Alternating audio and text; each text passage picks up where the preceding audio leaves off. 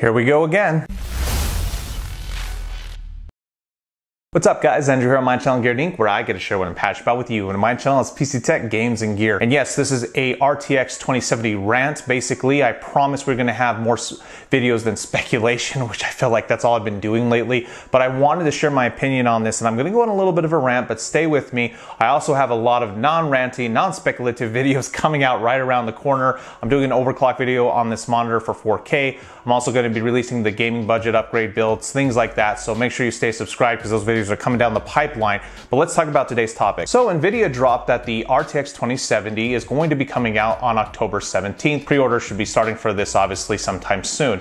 Now the RTX 2070 is different from its 2080 and 2080 Ti counterpart, and it's a GPU I might actually recommend you buy right now if you can find it for cost. And that I'll probably disqualify it uh, because they say it's going to be uh, 499, but we all know that you're not going to be able to find it for that cost. But let's kind of go through the motions with this. So the 2080 Ti we know performs 30-ish percent better than a 1080 Ti and a um, basically 2080 as they currently stand. Now the 2080 and the 1080 Ti, even though they have different specs, meet kind of head to head in overall performance. Some games favor the 2080, some uh, games favor the 1080 Ti, depending on basically memory restrictions seem to be the biggest difference. Here's what's very interesting about this. The 2080 has 600 less CUDA cores than a 1080 Ti.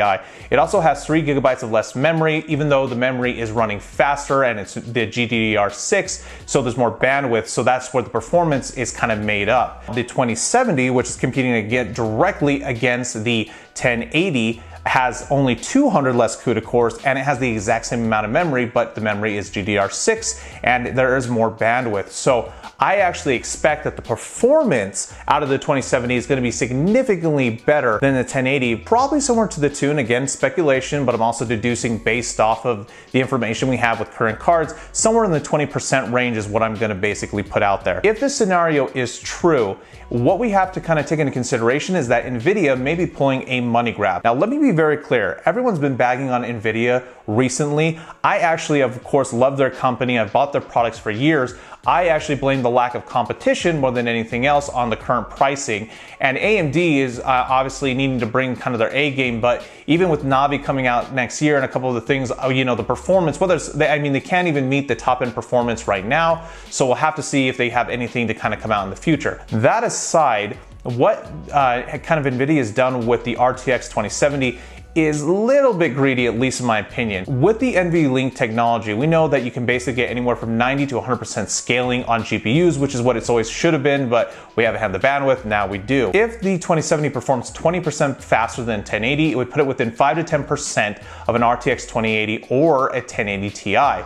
What that means is that if you could use the NVLink technology on it, you could get about 40%-ish better um, performance, and that would place it about 5 to 10% over an RTX 2080 Ti for $200 less than the current model. So you can see from NVIDIA's perspective why it would not be in their best interest to basically enable that. And there might be the argue that, well, you couldn't fit it on the PCB, or maybe there's other, you know, other factors into the construction of the GPU that disallowed for that, but I call BS. Honestly, I mean, the 1070 had SLI support, the 1080, which is in the same bulb, like those are all in the same roundhouse as the 2070, all have it enabled. NVIDIA obviously didn't enable it on their, um, you know, their 1060 1060 or um, the 1050 or 1050 Ti or any of those cards. Um, and AMD did the same thing with theirs. I mean, with the 560 and 550, you couldn't do any crossfire. So, I mean, it, you know, there's guilt across the board for that. And obviously, there's also engineering restrictions. But the point I'm trying to make, NVIDIA could have very easily allowed the 2070 to be a great option for people who wanted to spend maybe $500, again, if you can find it,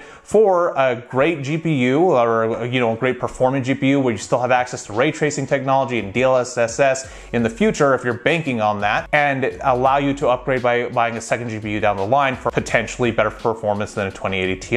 But they didn't. And so my thought is that that's a purpose decision. Whether it is or not, you know, you can argue that out with me. I'd love to hear your feedback. But for the RTX 2070 coming out, it's going to be very interesting because for the cost, if it does perform as well as I think it might, you might be able to uh, basically overclock this GPU and get almost as good as performance as a 1080 Ti or as a 2080. And if that's the case, then that means that it might be the best value GPU in the bunch for the cost, even if you're paying $600 just depends. So anyway, guys, I hope you like this video. Really quickly, thanks to my patrons. I'm doing something special for you guys. Um, if you make sure you check your email, I've already messaged all of you.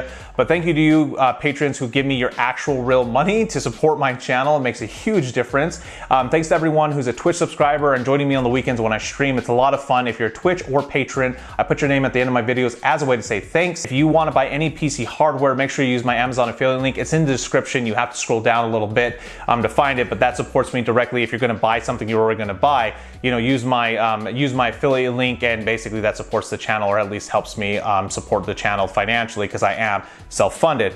Um, and now remember to get subscribed and hit that bell icon. YouTube's algorithm sucks, as we all know. And um, as always, guys, thank you for watching this video. But you know what? I'm gonna make them whether you watch or not because I love to do it. And I hope to see all of you next time here on Geared Inc.